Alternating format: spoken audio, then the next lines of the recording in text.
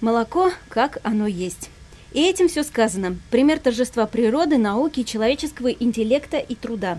Процедура его производства прозрачная и быстрая, что для молока, как продукта скоропортящегося, очень важно. И никакого вам химического вмешательства. Но давайте по порядку. Вот он, основной поставщик сырья. 300 рогатых буренок, ночек, белянок Архангельского колхоза «Власть Советов» наслаждаются сочной травой зеленых шатковских полей. А вот молоковоз объемом 500 литров. Он ежедневно забирает любезно предоставленные коровами свежий парной молоко молоко и привозит сюда, на мини-завод. Небольшое мобильное устройство станции приемки выполняет сразу несколько функций.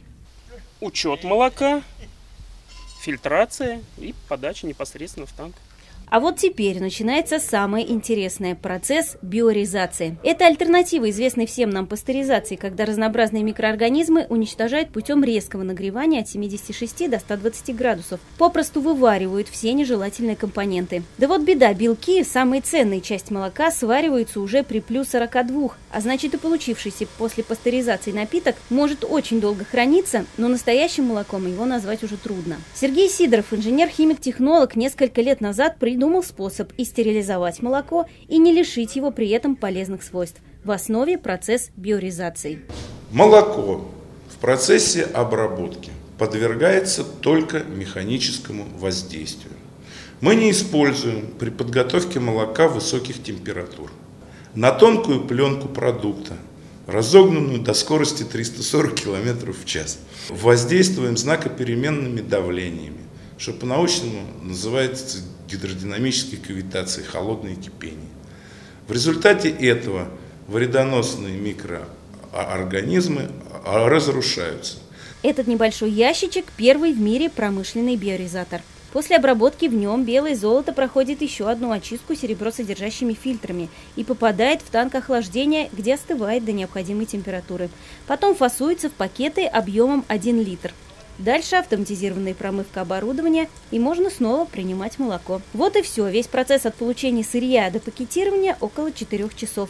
А срок хранения натурального молока, обработанного таким методом, продлевается до 7 дней. Просто и быстро? Да. Экологично? Да. А еще это вкусно и очень полезно. Это молоко получило декларацию Евразийского экономического союза о соответствии. И сам процесс биоризации молока и устройства запатентованы. Мини-лаборатория позволяет контролировать качество каждой партии. Из биоризированного молока уже делают гранулированное мороженое, а в домашних условиях из него получается отличный простокваша и творог. Процесс производства отличается еще и тем, что он очень компактен, что позволяет сократить количество персонала и в дальнейшем тиражировать подобный подход к производству молока в небольших хозяйствах. Промышленное производство биоризированного молока стало возможным благодаря реализации в селе Хирина и его окрестностях необычного проекта холдинга «Социум» и его дочерней компании компании «Социум поселения». Здесь в буквальном смысле возрождается полноценная культурная, духовная и трудовая жизнь. Сельское хозяйство получило второе дыхание. На сегодняшний день уже группа компаний «Социум», в частности, в их лице «Социум поселения», второй год проводит определенное финансовое влияние, которое позволяет провести модернизацию всего производства. Как и в растеневодстве покупается техника для заготовки кормов, выращиванию зерновых, картофеля, картофельно-сладкая техника покупается. Сейчас вот мы покупаем молочную линию новую, а также запустили вот новое, можно сказать, вообще инновационное производство пакетированного молока. Но когда есть в компании, говорится, хороший инвестор, который относится и относится по-человечески, и деньги вкладывает, это, в принципе, большой плюс.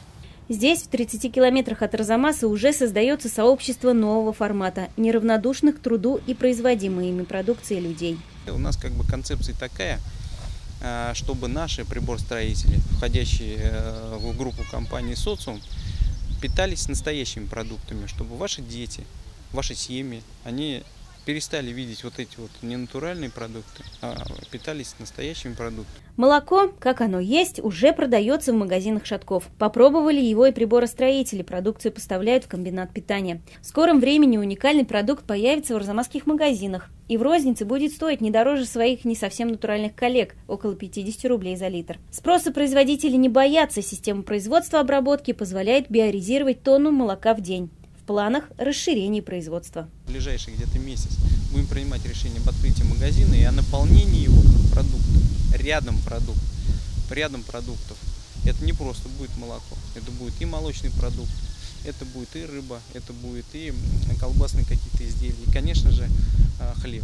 Значительно упростит реализацию планов реорганизации колхоза власть советов, после чего он войдет в состав нового юридического лица «Социум Агро», компании, которая будет заниматься выращиванием, частичной переработкой и реализацией качественной сельхозпродукции, доступной потребителю и, в первую очередь, приборостроителям.